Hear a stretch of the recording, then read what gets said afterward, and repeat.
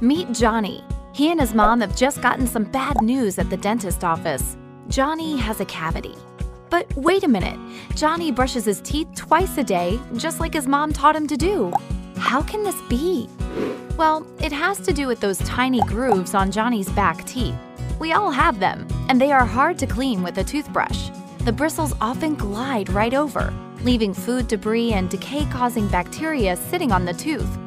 Johnny, like any child, is vulnerable to decay on those back teeth. Oh no, what can be done? Johnny's dentist has a plan. He is going to put sealants on Johnny's teeth. These quick and easy, tooth-colored plastic resin coatings will fill those little grooves so that bacteria have nowhere to hide. Johnny's mom says, let's do it! Johnny wants to know, will it hurt? No way. The process is really very simple. Johnny's dentist will clean his teeth, then apply a solution that will allow the sealant to stick tightly to the tooth. The dentist will then paint the sealant on in a liquid form that hardens in about a minute, sometimes with the help of a special light that makes it strong. That's all there is to it.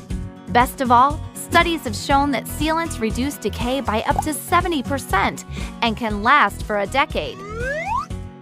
Take that, bacteria! Talk to your dentist today about dental sealants.